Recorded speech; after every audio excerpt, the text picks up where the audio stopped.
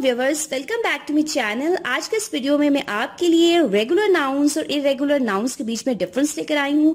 Guys regular nouns are nouns that become plural if an S और E S is added to them guys जब हम एक से ज़्यादा जो है चीज़ की बात करते हैं तो हम एस या ई एस का एडिशन कर देते हैं। जैसे हम पेन की बात करें तो एक पेन की बात करें तो हम पेन कहेंगे। जब हम एक से ज़्यादा की बात करते हैं प्लरल की बात करते हैं, जमा की बात करते हैं तो हम पी ई एन एस लगा देते हैं।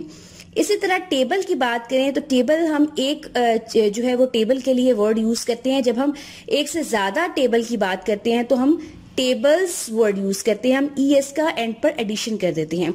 तो गाइज़ रेगुलर नाउन्स ऐसे नाउन्स होते हैं, जब हम उनके प्लरल जब बनाएँ तो हम एस या ई एस का एडिशन कर देते हैं। फाइन जबकि गाइज़ इरेगुलर नाउन्स ऐसे नाउन्स होते हैं that don't follow a standard pattern of pluralisation guys irregular nouns ऐसे नाउन्स होते हैं जो एस और ई एस के पैटर्न को फॉलो नहीं करते। जब आप उनकी जमा बनाते हैं तो उनमें चेंजिंग आ जाती है। कैसे चेंजिंग आती है?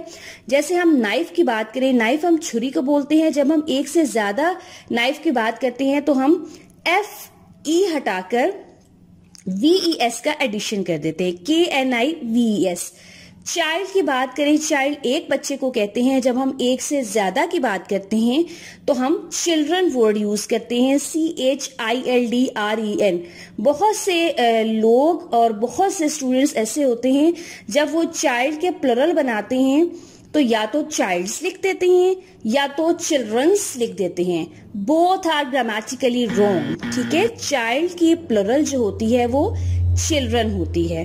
फाइन आई थिंक आपको रेगुलर नाउन्स और इरेगुलर नाउन्स के बीच में डिफरेंस अच्छी तरह से क्लियर हो चुका होगा। वीडियो अच्छी लगे तो प्लीज़ लाइक ज़रूर कीजिएगा और प्लीज़ वीडियोस को मेरे ज़्यादा से ज़्यादा जो है वो शेयर किया करें।